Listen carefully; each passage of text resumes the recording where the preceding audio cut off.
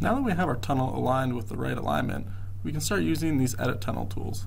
The first we'll use is edit rotation. A tunnel rotation may be used as sort of a super elevation in tunnels, where we'll tilt one side of the tunnel higher than the other.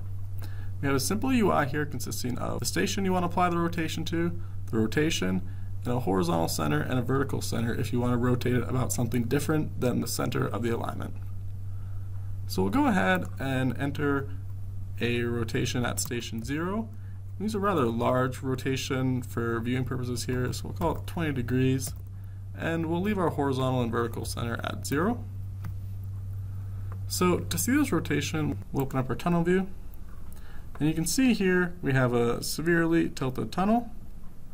We can go along the slider, and we can see that this tilt persists at every station along the tunnel. We can also see here in this text box we have a rotation of 20 degrees. So this is important to note is that when you apply a rotation or an offset, it'll apply all the way until the end of your tunnel unless specified otherwise. So let's say we just want this tunnel rotation to appear along this sort of curve, and we want to end it around station 250. So we'll enter in station 250 here, and for our rotation, we'll put zero degrees to end it.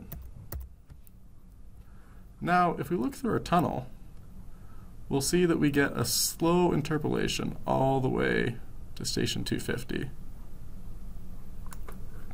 We might not necessarily want that, so we'll create a, another station just before that, and we'll call it 249.99, and we'll enter a value there of 20. You'll see when I enter stations out of order, TBC will automatically rearrange them.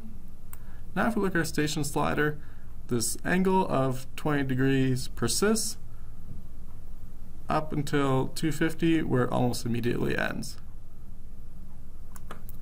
Now if we want to do something where it just tapers off at the end, then we can change the station to 260. We can edit that. And now we look at it at 250. It's a more gradual interpolation down to zero.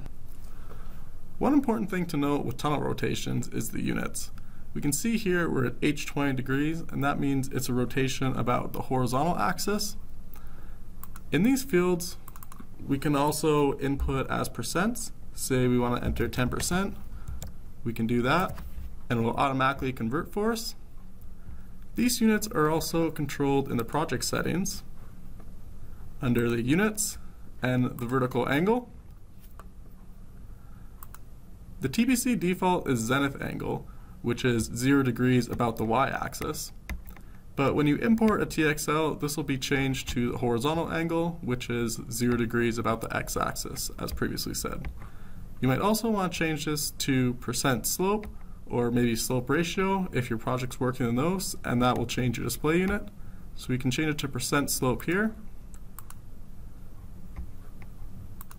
And now we can see all our values in our tunnel rotation are percent along with in our tunnel view.